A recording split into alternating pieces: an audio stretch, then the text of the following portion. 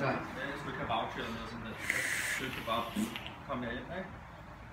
Øh, men alt hvad jeg har købt derinde med high-end ting, det har det har jeg Ja. fået til ondt, det har jeg fået til meget, meget billige penge. Altså, Ja. de er virkelig øh, flinke med det. Jeg fik en, øh, Så er der sgu vi damper via Pibesø i, i Valbydam. Ikke? Igo Ejo og hele lortet, mand. Skal ikke komme her. Og Så skriver jeg, så Mr. skriver Romantic, eller hvad? lyst til at smide noget oveni. og Salim. Tak skal du have. ja, Så, hvad det er, så til sidst så skriver jeg så til ham, at jeg har fået en anden video. Så skriver jeg, Skal lige vise jer noget. Prøv lige at se det mod, der ligger derinde. I den lille sorte æske på, på øverste hylde. Det er så lige et tube mod til 3.500.